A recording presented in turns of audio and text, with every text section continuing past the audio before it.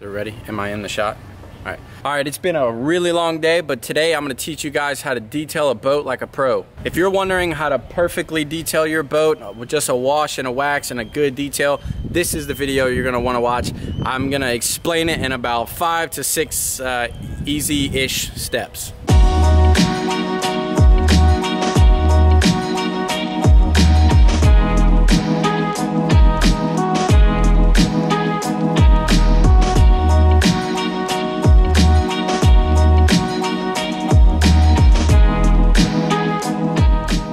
Shot this video a little different than I normally do, so uh, this is gonna be the last time you actually hear me talk. I'm just gonna time lapse the whole thing and explain everything that I do through the process. It's been a long day, I'm hot, I'm tired, sunburnt, but hey, that's boat detailing for you. So hope you enjoyed the video, and obviously, like always, if you get any type of value out of this, please hit the like button and please subscribe. I need you, I'm desperate. just kidding, but it would be awesome. Thanks guys, hope you enjoy the video. All right, guys, so let's go ahead and start off with the video.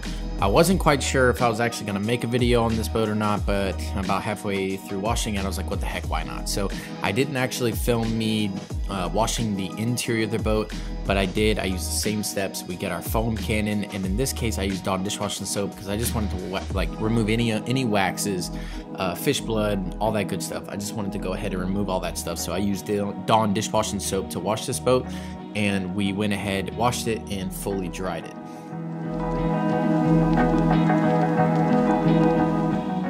What you're gonna notice here is some black rubber marks from the docks. If you encounter this on your boat, no worries, just take some acetone and it literally wipes right off. My biggest recommendation though is to use a white rag because you can uh, turn the color of the boat yellow if you use a colored rag. So always use a white rag when you're doing acetone on your boat.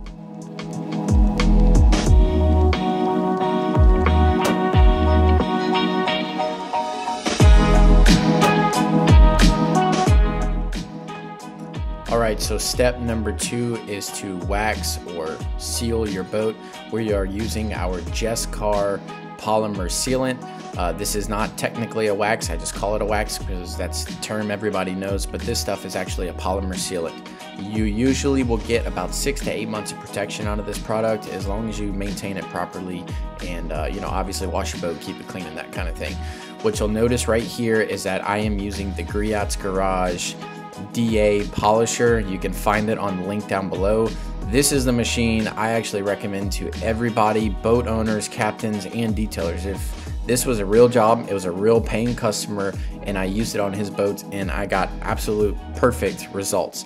Um, I prefer to even use this machine for waxing over my $500 Flex.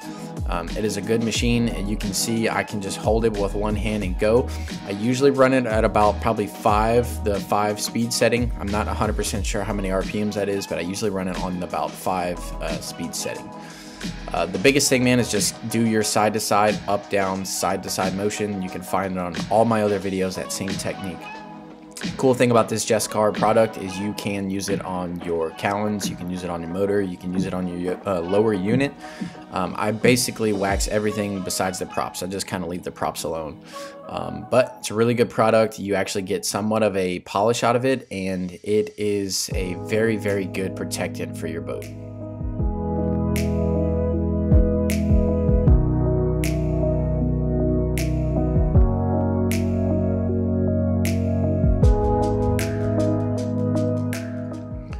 So all we're using right here is diluted purple power. You can literally go to Walmart and buy this. There's nothing super fancy about it in magic erasers. Magic erasers and purple power are your best friend when it comes to seats. I try to stay away from bleach as much as possible because bleach will dry out the vinyl really bad. Purple power, just so in the years of me doing this, I have had really good results with just a simple uh, you know degreaser. You don't have to use purple power. You can also use like simple green is a good product as well. But scrub the seats down with magic erasers and then at the very end we rewash it so don't worry about it but get the seats looking right. And then right after the seats I hop right into the compartments and I get the compartments looking right too. Same product same towel same magic erasers, just go to town. Get all your rust stains out, get all of your black marks out, get all your fish blood out. Just take this time to go ahead and really detail the inside. Now, if you notice, I waxed the outside already and now I hopped into the inside and I'm deep cleaning the interior. I like to do all my compartments and my seats before I start waxing. That way um, I don't get any overspray from the degreaser on uh, the boat while I'm waxing it. Now, once you're done with that, jump right into waxing it again on the top side. I like to do the non-skid on the toe rail. I, I don't really do the floors, but I always do the non-skid on the toe rail. It just helps with the extra level of protection um, on the toe rail. And then the cool thing about this product too is you can go over all your metal as well while you're going at it. Another thing you'll notice too is when you're doing the inside of a boat, you have to get in some very um, odd places, so you have to be somewhat of a contortionist. but um, you know, you just got to make it happen, and it's the same uh, rule on the outside. Try to do your side to side, up down, side to side motion.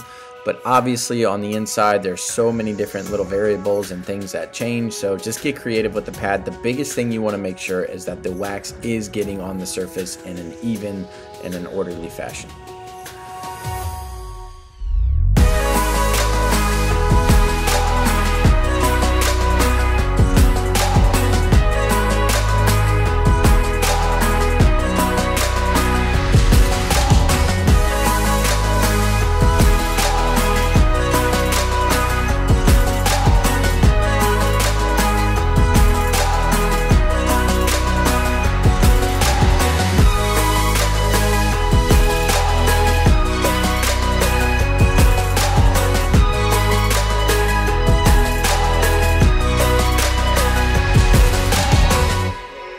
So let's go ahead and move on to our metal. I wax all of my metal with this product called Woody Wax. I absolutely love this product. Um, this particular product you can put on your gel coat, you can put on paint, you can put on wires, you can put on metal, you can put on glass, you can put on isinglass. This is just a very, very, very thick, really good spray wax. There's nothing really special about it besides that. Um, it polishes up really well and actually it really helps get like blood and like fish guts off and it's a really easy way to uh, get wax into really tight places that your machine can't. And you can also wax over all of your screens your radios your wires your gauges. You can wax over all of that with woody wax. It is a very very good product. Go ahead and buy it. The link is down below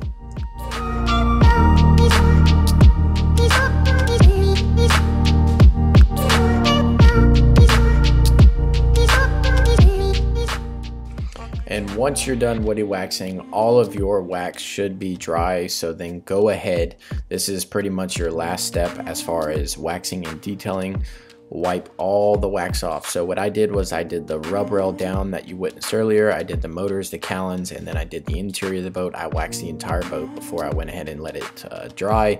And then I took it off. So uh, this is my helper here. He went ahead and just took all the wax off. Nothing crazy about it. Just put, um, you know, fold your towel in fours and just go ahead and do circle motions and buff it till it is shiny. The biggest thing I can say is just make sure you get all of the wax off because you don't want to have any wax residue left over.